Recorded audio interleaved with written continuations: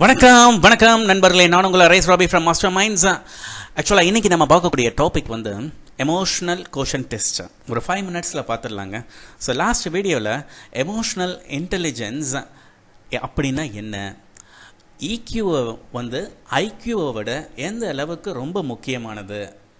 அடுத்து emotional quotient நமக்குள்ளார எந்த அளவுக்கு இருக்குது அப்படின்றத கண்டுபிடிக்கிறதுக்கு ஒரு சிக்ஸ் மேஜர் டிப்ஸ் உங்களுக்கு சொல்லியிருந்தேன். அடுத்து ஒரு five major core elements for emotional intelligence இது எல்லாமே லாஸ்ட் வீடியோவில் நம்ம பார்த்தது. இன்றைக்கி நம்ம பார்க்கக்கூடிய எமோஷனல் இன்டெலிஜென்ஸை ஒரு டெஸ்ட்டு தாங்க. ஜஸ்ட் ஒரு ஃபைவ் மினிட்ஸ் ஒரு பேப்பர் ஒரு பென்சில் இதை எடுத்துக்கோங்க. ஒரு ஃபைவ் மினிட்ஸில் உங்களுடைய இக்யூ லெவல் என்ன அப்படின்றத பார்த்துடலாம். எஸ் மை டியர் ஃப்ரெண்ட்ஸ் நம்ம சேனலை இது வரைக்கும் சப்ஸ்கிரைப் பண்ணாதவங்க கண்டிப்பாக சப்ஸ்கிரைப் பண்ணிவிடுங்க வாங்க வீடியோக்குள்ளார போகலாம். எஸ் மை டியர் ஃப்ரெண்ட்ஸ் ஸ்டார்டிங்கில் இதோட இன்ஸ்ட்ரக்ஷன்ஸ் என்னென்னு உங்களுக்கு ஃபஸ்ட்டே சொல்லிடுறேன். ஒரு ஃபிஃப்டீன் கொஷின்ஸ் நான் உங்களுக்கு இப்போ டிக்டேட் பண்ணுவேன். நீங்கள் என்ன பண்ணணும் அப்படின்னா அதுக்குரிய மார்க் அப்படின்னா ஃபஸ்ட்டு வந்து அந்த ஒரு கொஷினில் இருக்கக்கூடிய ஒரு கொஷினை ஃபஸ்ட்டு ஒரு ஃபார் எக்ஸாம்பிள் ஏதாவது ஒரு கொஷின் சொல்கிறேன்னா அதுக்கு ரேட்டிங் நீங்கள் வந்து whether it is going to be not at all அப்படின்னா ஒன் மார்க் ரேர்லி அப்படின்னா டூ மார்க்ஸ் கொடுக்கலாம். சம்டைம்ஸ் எப்பயாவது அப்படின்னா மூணு. ஆஃபன் எப்பயுமே அப்படின்னா ஃபோர் நான் எப்பயுமே குவைட் ஆஃபன் எப்போ பார்த்தாலும் நான் எல்லாத்துக்குமே சம்மதம். முழுமையாக என்னை அந்த ஒரு விஷயத்துக்கு ஆத்மதிக்கிறேன் அப்படின்னு சொன்னீங்கன்னா வெரி ஆஃபன் ஃபைவ் மார்க்ஸ் கொடுக்கலாம்.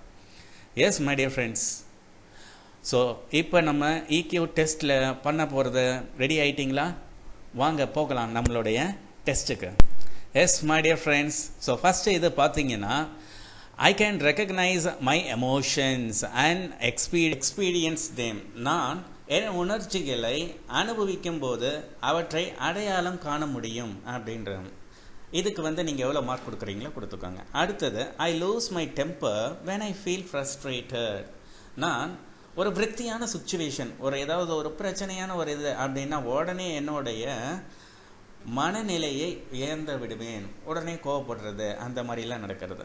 இதுக்கு என்ன மார்க் அப்படின்றத மார்க் கொடுத்துக்கோங்க. மூணாவது people have told me that I am a good listener நிறைய பேர் என்னுடைய நண்பர்கள் என்னுடைய வட்டாரத்தில் இருக்கிறவங்க எல்லாரும் என்ன சொல்லுவாங்கன்னா நீ ரொம்ப அருமையாக கவனிக்கிற ஆ அப்படின்ற மாதிரி சொல்லுவாங்க. அடுத்து நான்காவது I know how to calm down myself when I feel anxious or upset அதாவது நான் ஏதாவது ஒரு பிரச்சனைகள் இருக்கும் பொழுது அந்த சமயத்தில் என்ன அப்படியே எப்படி பண்ணிக்கிறது?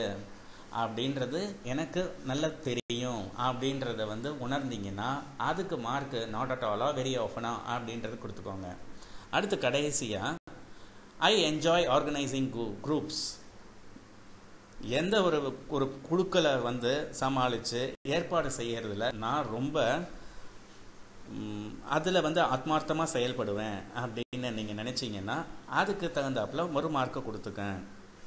Next sixth question yes my dear friends sixth question பார்த்தீங்கன்னா find it I find it difficult to focus on one particular thing over a long term ஒரு விஷயத்தை வந்து கான்சென்ட்ரேட் பண்ணுறது நான் ரொம்ப கஷ்டப்படுவேன். ரொம்ப நேரம் அதையே ஃபோக்கஸ் பண்ணுறது என்னால் முடியாது. இந்த மாதிரி இருக்கிறவர்கள் அதுக்கு தகுந்தாப்புல மார்க் கொடுத்துக்கோங்க. I find it difficult to move on when I feel frustrated yes அடுத்தது பார்த்தீங்கன்னா என்னுடைய லைஃப்பில் லைஃப்பில் விரக்தி அடைந்தேன் அல்லது ம மகிழ்ச்சி அப்படின்னு இருக்கும் பொழுது நான் முன்னேறுவது ரொம்ப கடினமாக இருக்கும் அப்படின்றது. எட்டாவது பார்த்தீங்கன்னா என்னுடைய ஸ்ட்ரென்த்ஸ் அண்ட் வீக்னஸ் இது வந்து எனக்கு நல்லா தெரியும் அப்படின்னு. நான் ஒன்பதாவது பார்த்தீங்கன்னா அவாய்ட் கான்ஃப்ளிக்ட் அண்ட் நெகோசியேஷன்ஸ் ஆமாங்க. நான் வந்து எந்த ஒரு விதமான உடன்பாடு இல்லாத சமயத்தில் ஒரு மோதல்களுக்கோ இல்லை பயங்கரமான பேச்சுவார்த்தை இந்த மாதிரி விஷயத்தெல்லாம் நான் கொஞ்சம் அவாய்ட் பண்ணிப்பேன். அதிலலாம் நான் ரொம்ப ஈடுபாடு கலந்துக்க மாட்டேன் அப்படின்றது.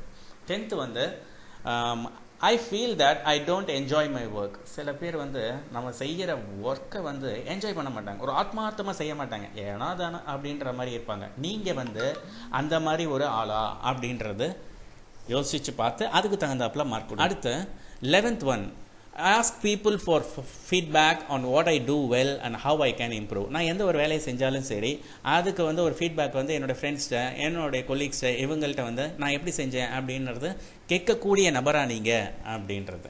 டுவெல்த்து வந்து நான் ஒரு லாங் டேர்ம் கோல்ஸை தான் செட் பண்ணுவேன். சும்மா சின்னதாக உடனடியாக கொடுக்கக்கூடிய ரிசல்ட் அந்த மாதிரி இதெல்லாம் பார்க்க மாட்டேன். I always set long term goals and review my progress regularly அதுக்கு அந்த கனவு அந்த இலக்கை நோக்கி நான் செயல்படுறேன் அப்படின்னு அடிக்கடி அந்த ப்ரோக்ரஸை செக் பண்ணிக்கிட்டு இருப்பேன் அப்படின்றத. பதிமூணாவது பார்த்தீங்கன்னா I find it difficult to read other people's emotion மற்றவர்களுடைய மனநிலையை நான் அறிந்து கொள்வதற்கு ரொம்ப கஷ்டப்படுவேன். இந்த மாதிரி நபரா நீங்கள் அதுக்கு தகுந்தாப்பில் மார்க் கொடுங்க. பதினான்காவது. I struggle to build rapport with others நான் மற்றவர்களுடன் ஒன்றி இணைந்து சந்தோஷமாக உரையாடுவதற்கு கஷ்டப்படுற ஆள். அதாவது சில பேர் பார்த்தீங்கன்னா ஐசோலேட்டடாகவே இருப்பாங்க. அந்த மாதிரி ஆளா நீங்கள் அடுத்து பதினஞ்சாவது பார்த்தீங்கன்னா I use active listening skills and people speak to me மற்றவங்க பேசும்போது அவங்க என்ன பேசுகிறாங்களோ அதை ரொம்ப உன்னிப்பாக கவனிப்பேன். நடுவில் நடுவில் பேசி எதையும் கான்வர்சேஷனை பிரேக் பண்ண மாட்டேன். நீங்கள் இந்த மாதிரி ஆளா? நல்ல கவனிக்கிற ஆளா? ஸோ ஆல்மோஸ்ட் ஒரு ஃபிஃப்டீன் சென்டென்சஸ் உங்களுக்கு சொல்லியிருக்கேன். இந்த ஃபிஃப்டீன் சென்டென்சஸ்க்கு எல்லாத்துக்கும் நீங்கள் இப்போ மார்க் போட்டிருப்பீங்க. இப்போ இந்த மார்க் போட்டதை எல்லாத்தையுமே அப்படியே ஆட் பண்ணுங்கள் ஆட் பண்ணிட்டீங்களா? எஸ் வெரி குட் ஆட் பண்ண உடனே உங்களுக்கு ஒரு ஸ்கோர் கிடைச்சிருக்கும். உங்களுடைய ஸ்கோரு ஃபிஃப்டீன் டு தேர்ட்டி ஃபோராக இருந்துச்சுன்னா I am sorry my dear friends உங்களுடைய ஈக்யூ லெவல் ரொம்ப கம்மியாக இருக்குது பட் அதனால் பயப்பட வேணாம். You still have time to work on it and improve ஆனால் ஒன்று மட்டும் நம்ம முன்னாடியே சொன்ன அந்த ஃபைவ் மேஜர் எலமெண்ட்ஸ்ன்னு சொன்னோம் பார்த்தீங்களா அந்த ஃபைவ் மேஜர் எலமெண்ட்ஸில் நீங்கள் அந்த self awareness self motivated self regulation இந்த மாதிரி விஷயத்தில் வந்து கான்சென்ட்ரேட் பண்ணிங்கன்னா கண்டிப்பாக உங்கள் ஈக்யூ லெவலில் கொஞ்சம் இம்ப்ரூவ் பண்ணிக்கலாம். ஆனால் இந்த ஃபிஃப்டீன் டு தேர்ட்டி ஃபோரில் இருக்கிறவங்க என்னென்னா அவங்களால கோபத்தை கட்டுக்கோப்பாக அவங்களுக்குள்ளார வச்சுக்க முடியாது. டபார்னு பர்ஸ்ட் ஆகிடுவாங்க இதன் மூலமாக என்ன ஆகும்னா அவங்களுக்குள்ளார இருக்கக்கூடிய சில ரிலேஷன்ஷிப் ஃப்ரெண்ட்ஷிப்பாக இருக்கட்டும் ஆஃபீஸில் இருக்கக்கூடிய கொல்லீக்ஸ் இவங்களுக்குள்ளாரெல்லாம் வந்து பிரச்சனைகள் அதிகமாக இருக்கும். ஸோ இந்த மாதிரி mark fifteen to thirty four இருக்கிறவங்களுக்கு உள்ள பிரச்சனை என்னென்னா டபார்னு பர்ஸ்ட் ஆகிடுவாங்க ஸோ அந்த மாதிரி பர்ஸ்ட் ஆகாமல் இருக்கிறதுக்கு நீங்கள் ஒர்க் அவுட் பண்ணக்கூடியது அந்த ஃபைவ் மேஜர் எலமெண்ட்ஸை கண்டிப்பாக you need to work on it next பார்த்து அடுத்து ஸ்கோர் வந்து thirty five to fifty five you're in a moderate level your intelligence அதாவது எமோஷனல் இன்டெலிஜென்ஸ் வந்து இட்ஸ் ஓகே பரவாயில்ல. நீங்கள் உங்களுடைய ரிலேஷன்ஷிப் எப்படி இருக்குன்னா நீங்கள் ஈஸியாக மற்றவங்களோட பழகிடுவீங்க நல்லா மூவ் பண்ணுவீங்க. பட் ஆனால் ஒரே ஒரு விஷயம் என்ன அப்படின்னா மற்றவங்க உங்கள் கூட இருக்கிறது கொஞ்சம் டிஃபிகல்ட்டாக ஃபீல் பண்ணுவாங்க. அதுதான் ஒரே ஒரு மைனஸ் பாயிண்ட்டு பட் ஸ்டில் இதில் என்ன ஒரு குட் நியூஸ் உங்களுக்கு அப்படின்னா நீங்கள் மென்மேலும் நல்லா இம்ப்ரூவ் ஆகிக்கலாம். ஏன்னா நீங்கள் ஒரு மாடரேட் லெவலில் இருக்கிறீங்க.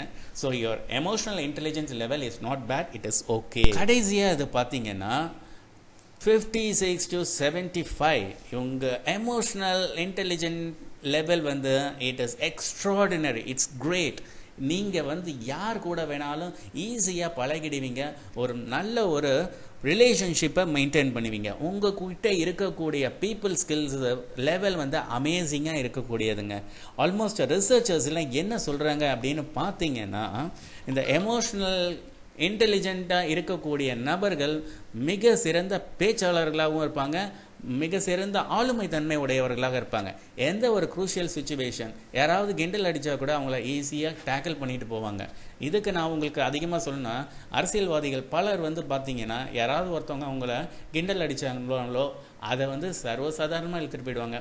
நம்ம ஊரில் இருக்கக்கூடிய நம்ம கலைஞர் அவர்களுடைய இதை எடுத்துக்கிட்டிங்கன்னா ஒரு முறை ஒரு கூட்டத்தில் பேசிகிட்டு இருக்கார் மாநாட்டில். அந்த சமயத்தில் ஒரு எதிர்கட்சியை சார்ந்த ஒரு அம்மா ஒரு பெண்மணி வந்து விளக்குமாரை எடுத்து காமிச்சாங்களாம். விளக்குமாரை எடுத்து காமிச்ச உடனே இதே வேற யாராக இருந்தால் கோவப்பட்டிருப்பாங்க. அங்கே இருக்கிற வந்து தொண்டர்கள்லாம் ரொம்ப ஆரவாரமானாங்களாம் உடனே கலைஞர் சொன்னாராம் கூட்டம் அதிகமாக இருக்குது. அந்த அம்மாவுக்கு நான் பேசுகிறது புரியல. அதனால் விளக்குமாறு கேட்குறாங்க ஆ அப்படின்ற மாதிரி கலைஞர் சொன்னாராம். இதுதாங்க.